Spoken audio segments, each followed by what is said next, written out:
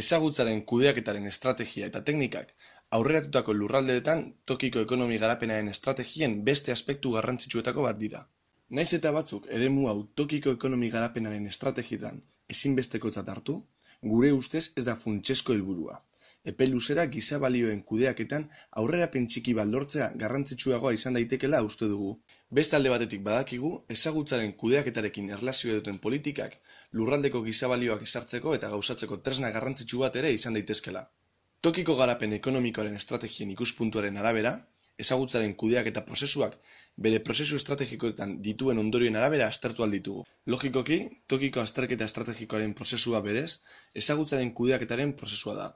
Informazioaren igorpen eta antolaketa erabiltzeko aukera ematen du edo udalerriko edo eskualdeko garapen ekonomikoa bultzatzeko funtsesko erabakiak hartzeko informazioa egiaztatzeko aukera ematen du. Estrategien betetzaren arabera, ezagutza lortzeko ekintzen artean, bere antolaketa edo ezagutza berriaren kudeaketa eta eraketa bereizi ditzakegu. Noski, jakina denez, ezagutza giza adimena dutenen berezko jarduera da, eta gizakiak dira bere protagonistak. Tokiko estrategietan pertsonak dira beti, alabearrez, ezagutzaren kudeaketan funtsezko ekintzen arduradunak. Tokiko garapen estrategiak egiterako orduan, askotan, prozesuaren garapenean garrantzitsuagoa da zeinekin egingo den lan jakitea, zein erakunderekin baino. Hitz egiten ari garen prozesu estrategikoan, udalerriko edo eskualdeko interes orokorrera bideratuta dagoela kontutan izanik, horretan parte hartzeko motivazioa eta eraginkortasuna pertsona bakoitzaren balio eta ezaugarriekin egon daiteke lotuta, partaide den erakundearekin baino gehiago. Duela gutxi nabarmendu da, tokiko estrategien arabera, hausnarketa estrategikoaren muina, funtsean enpresa ezagutza izan behar dela. Abiatze hau egokia bada ere, ez da osoa. Ikuspuntu honek, funtsesko zeregina eta epe luzera garapen ekonomikoaren ekintza publikoa gutxi esten dituzte. Enpresa ezagutza funtseskoa da, adibidez, enpresa proiektu berriak antzematerako orduan, gaur egungo enpresen beharrak ezagutzerako orduan eta bar. Baina eskualdeko garapen ekonomikoaren estrategiaren ekintzek erakunde publikoak eta pribatuak estutasunetan jarri aldituzte. Erantzunkizun publikoa ezinbestekoa da, eta baita ere, logikoki, prozesua bultzatzeko agente publikoen irizpideak finkatzea, egonezinak adieraztea, agente pribatuen proposamenak baloratzea edo horrekatzea, eta bar. Enpresa agenteen eskudagoen ezagutzari lehentasuna emateak, ulergarria den logika bati erantzun aldio.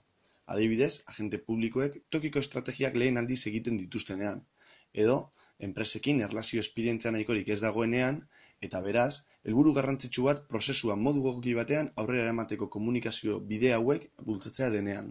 Udalerriko edo eskualdeko enpresei ezagutzaren kudeaketaren protagonismoa leporatzea, adultasun politiko edo arduradun politikoen ahalmen tekniko esaren ondorio bat izan daiteke. Dena den, gure ustez argi dago kudeatu behar diren ezagutza eremuak, agente publiko eta pribatuetan dauden ezagutzen mix bat izan behar dela. Tokiko garapen ekonomikoaren estrategia guztietan bezala, ezagutzaren kudeaketan ekintzak eta azpiegiturak edo plataformak bereiztea garrantzitsua da.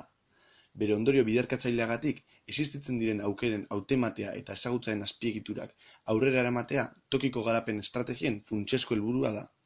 Kudeak eta unitate baten izendapena eta gero, ezagutzaren kudeaketaren azpiegiturak abiatu daitezke.